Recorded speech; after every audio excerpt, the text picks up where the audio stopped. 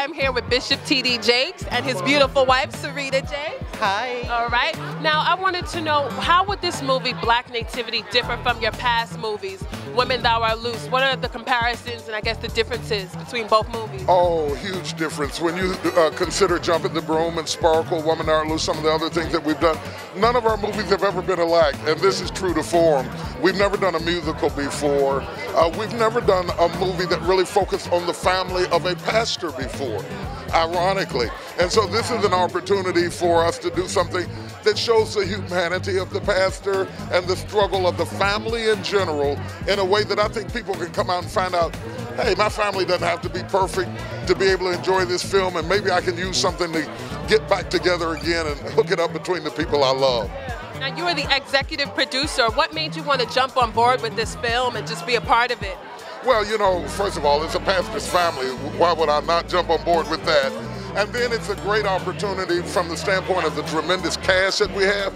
And I love to do things that you can bring the whole family to and not have to cover up the kids' eyes, yeah. you know. And I think during the holidays when so many people wrestle with depression, to do something that's uplifting and rejuvenating that doesn't show this picture perfect family and make people feel like if you don't have it all together, you can't enjoy the holidays. It's a great way to reach that audience. Yeah, it is a holiday musical drama. So, what would you say? What are some of your favorite carols that you enjoy in the movie and in your personal life? Well, Silent Night is an all-time favorite. I mean, you can't really have Christmas without it. And uh, for me personally, "Oh Come All You Faithful" is a, is a great film. In the in the movie, though, the the song "Be Grateful" is absolutely amazing. It's incredible. Jennifer Hudson rocks it.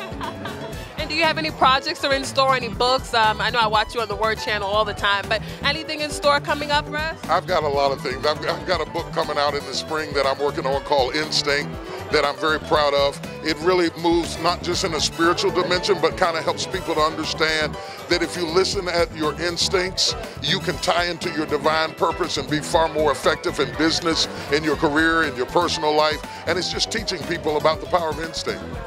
What would you say that the youth can expect from actually, you know, from after seeing the movie? I think the youth are going to walk away and they're going to feel gratified. Anytime you can see your cell phone screen, you're really going to enjoy it that much more. And, and the character Langston in the movie is a younger version, a younger generation with a younger type of hip hop uh, swag to him. You know, he got swag. Did I say swag? Yeah, I said swag. That's cool. Yeah, and, and I think they're really going to enjoy it. Well, God bless you and thank you for stopping to speak with us both. Thank you guys. Enjoy.